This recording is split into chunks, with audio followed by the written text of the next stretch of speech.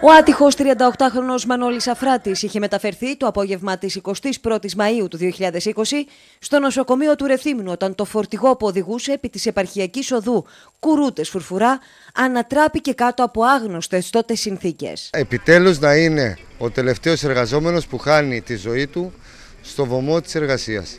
Να γίνει ένα παράδειγμα προς όλους τους εργοδότες να τηρούν αμετάκλητα τα μέτρα ασφαλείας στους χώρους εργασίας. Δύο χρόνια μετά, το τριμελές πλημελιωδικείο Ρεθύμνου επέβαλε ποινή φυλάκισης δύο ετών με τριετή αναστολή στον ιδιοκτήτη της εταιρείας που εργαζόταν ο 38χρονο και ο οποίος κατηγορούνταν για ανθρωποκτονία από αμέλεια. Να δικαιωθεί η ψυχή του αδερφού μου και κάθε εργαζόμενου που χάνει ε, το θάνατο, που, που χάνει τη ζωή του με αυτόν τον τρόπο.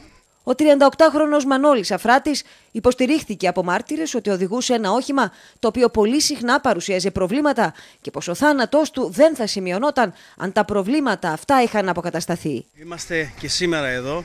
Στηρίζω την οικογένεια του Μανώλη του Αφράτη γιατί θεωρούμε ότι έφυγε άδικα και ο θάνατός του είναι άδικος να μην μπαίνουν μέσα σε οχήματα που δεν είναι πλήρως ελεγμένα και πάντως επιβεβαιωμένα ότι δεν έχουν προβλήματα, κάλεσαν τους εργαζόμενους πρόεδροι των εργατικών κέντρων του νησιού, που σήμερα παραβρέθηκαν στο πλευρό της οικογένειας του αδικοχαμένου, λέγοντας ότι ευχή όλων είναι ο άτυχος Μανώλης να είναι το τελευταίο θύμα της ασφάλτου σε εργατικό δυστύχημα. Κάνουμε έκκληση προς όλους τους επαγγελματίες, οδηγούς, όλους τους εργαζόμενους να τηρούν τα μέτρα ασφαλείας. Όταν βλέπουν ότι αυτά δεν τηρούνται, να μην πιάνουν δουλειά. Είναι προτιμότερο να χάσουν το μεροκάματο παρά να χάσουν τη ζωή τους.